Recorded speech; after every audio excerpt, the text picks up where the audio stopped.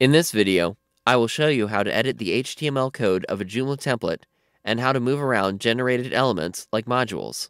We're here on the front end of the site, and we have a module for searching. We want to move the module position where this search module is located underneath the breadcrumbs. Let's go to the back end to do this.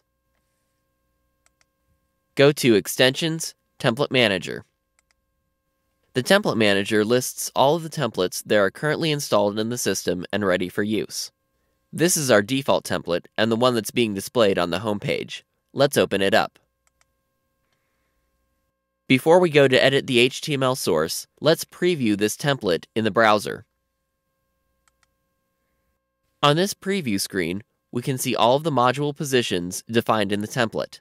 Currently, we have the top module position, and that's where the search module is published.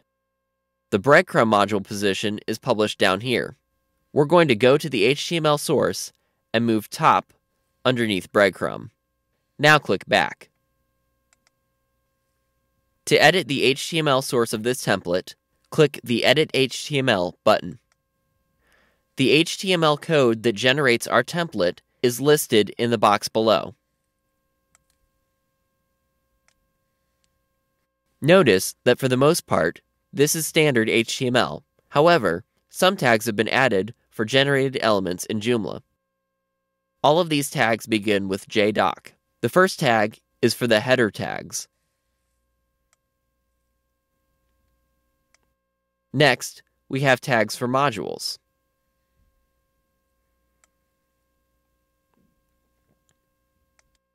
Just above the main portion of the page, we have a place for messages. Finally, we have a placeholder for the component at the middle of each page. Now let's move the top module position underneath breadcrumbs. Let's scroll back up and find the JDoc tag for the top modules. We're going to cut out this tag and we're going to scroll down.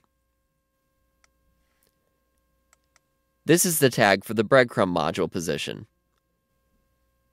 Let's place the top module just underneath the enclosing div. Now scroll back to the top of the screen. Click Apply. Now let's go back to the home page. Before, the search module was up here in the top position, but now the top position is going to move down underneath breadcrumbs.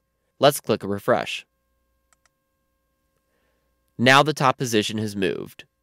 Editing a Joomla template file is very similar to editing any other HTML file. Special tags generate system messages, modules, and the component for the page.